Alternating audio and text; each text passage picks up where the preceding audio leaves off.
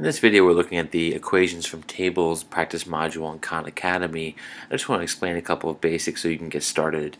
Here um, they'll tell you that a table was generated using this equation right here and of course that varies and the, the format varies but generally they're giving you an equation and telling you that defines how the table operates. then they probably want you to find missing values. Here they want us to find f of 1 and then f of 5. So I just want to explain what those things mean so you can work your way through this. So first of all, the equation f of x, that means a function that's based on the variable x.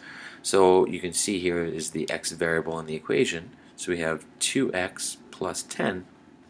We're saying the value of that this expression right here is a function that depends on the input, x, and the variable, the letter you write in here, is that input. Often f of x can just be thought of as y, right? Not f of y, sorry. But f of x is just another way of saying the y variable. So here we can connect these two because often y depends on x. So f of 1, they want to know, and f of 5. So literally, we rewrite this, so it's f of 1. Now the function depends on the x value when x equals 1. So it's 2 times 1 plus 10, which equals 2 plus 10, or 12. And then we have f of 5, same idea, right? f of 5 is the function when x is equal to 5. So 2 times 5 plus 10. You can see how nice this notation is. That's, oops, that's 20, right? Or 10 plus 10 is 20.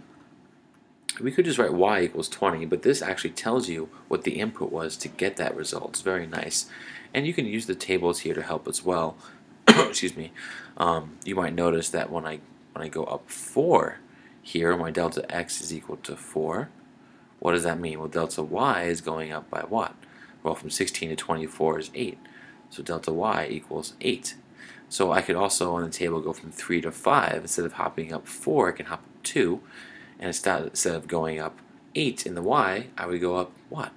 Well, I, I halved my x distance, so I'll half my y distance, and I'll go up 4 to 20.